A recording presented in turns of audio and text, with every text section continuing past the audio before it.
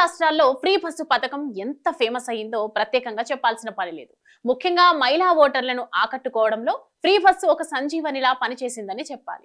ఈ పథకంతో తెలంగాణ రాష్ట్రంలో ఉన్న మహిళల ఓట్లన్నీ కాంగ్రెస్కి పడ్డాయి అనడంలో ఎలాంటి సందేహం లేదు. దీంతో ఏపీ ఎన్నికల సమయంలో కూడా ఇదే పథకాన్ని కూటమి ప్రభుత్వం ప్రకటించింది. అనంతరం అధికారంలోకి సైతం వచ్చింది. ఆ తర్వాత సీఎం చంద్రబాబు నాయుడు ఇచ్చిన హామీలనే నెరవేరుస్తూ వస్తున్నారు. కానీ ఫ్రీ బస్సు ప్రయాణంలో అలసత్వం ప్రదర్శిస్తున్నారు. ఒకవైపు ఆటో డ్రైవర్ల నుంచి నిరసనలు వస్తాయని భావించడంతో పాటు సరిపడా ఆర్టీసీ బస్సులు లేకుండా ఈ ఉచిత బస్సు ప్రయాణాన్ని మహిళలకు అందుబాటులోకి తెస్తే నగుబాటుకు గురవుతామని ఆయన పునరాలోచనలో పడినట్లు తెలుస్తోంది.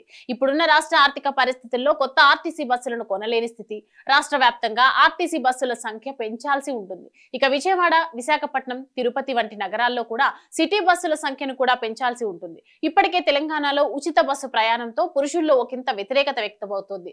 వారికి ఆర్టీసీ బస్సుల్లో చోటు దక్కడం లేదు. మహిళలు ఉచితం కావడంతో రాష్ట్రమంతటా ప్రయాణిస్తుండటంతో పురుషులు సీట్లు దొరకక ఇబ్బందులు పడుతున్నారు. తెలంగాణ ప్రభుత్వం నెలకు నాలుగు వందల కోట్ల రూపాయలు వెచ్చించాల్సి ఉంటుంది. నెలకు ఈ నాలుగు వందల కోట్ల రూపాయలను ఆర్టీసీకి రాష్ట్ర ప్రభుత్వం చెల్లించాల్సి వస్తుంది. అదనపు బస్సులు కొనుగోలు చేసినా ఫలితం ఉండటం లేదు.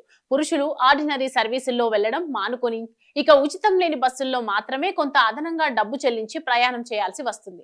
మరోవైపు కర్ణాటక రాష్ట్రంలోనూ మహిళల ఉచిత బస్సు ప్రయాణంపై అక్కడి ప్రభుత్వం పునరాలోచనలో పడింది. అయితే ఈ పథకాన్ని కొనసాగిస్తామని ముఖ్యమంత్రి సిద్ధరామయ్య చెప్పినప్పటికీ ఖజానాకు భారంగా మారిందని ఎక్కువ మంది కాంగ్రెస్ నేతలు అభిప్రాయపడుతున్నారు. ఈ నేపథ్యంలోనే ఆంధ్రప్రదేశ్లో మహిళలకు ఉచిత బస్సు ప్రయాణం అందుబాటులోకి వచ్చే అవకాశం ఇప్పట్లో కనిపించడం లేదు. అంతా సెట్ అయిన తర్వాత ఖజానా కొంత కుదురుపడిన తర్వాత ఈ పథకం గ్రౌండ్ చేయాలని చంద్రబాబు ఆలోచిస్తున్నారట. అప్పటి వరకు హోల్డన్లో ఈ ప్రతిపాదనను పెట్టారని టాక్ బలంగా వినిపిస్తోంది. సో ఏపీ మహిళలకు ఇది బ్యాడ్ న్యూస్ అనే చెప్పాలి.